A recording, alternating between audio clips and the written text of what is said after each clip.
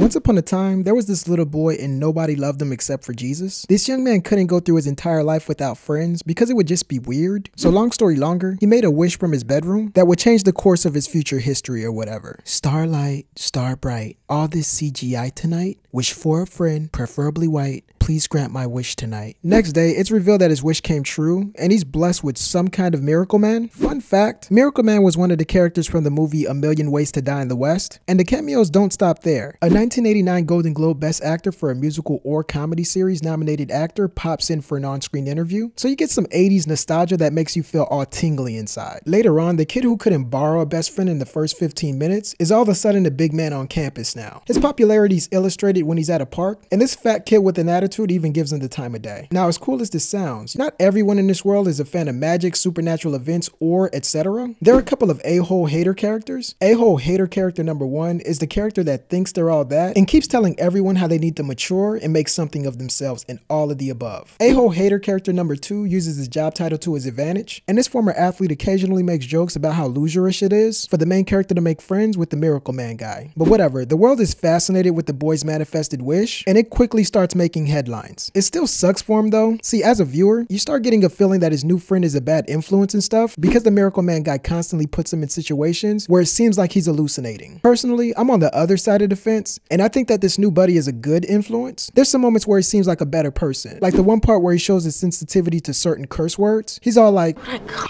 Ow! Maybe you shouldn't swear so much.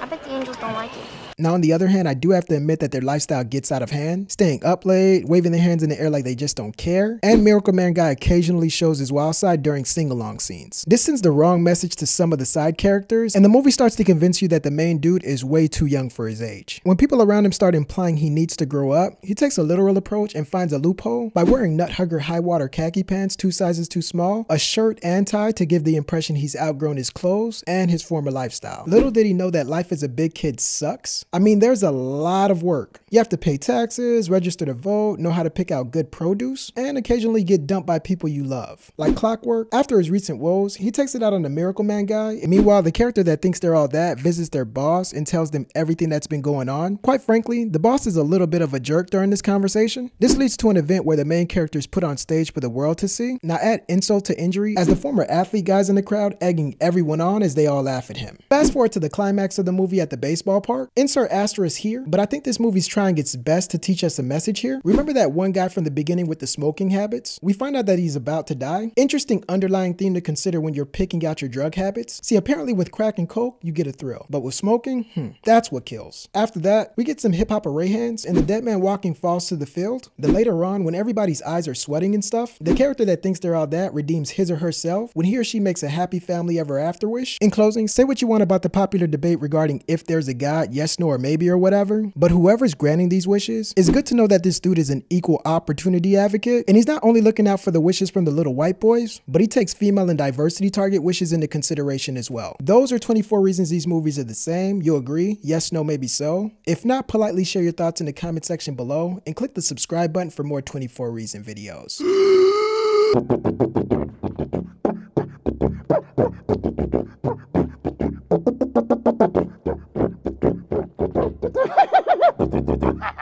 Best elevator music I've ever heard.